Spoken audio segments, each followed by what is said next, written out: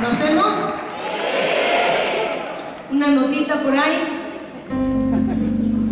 Para León.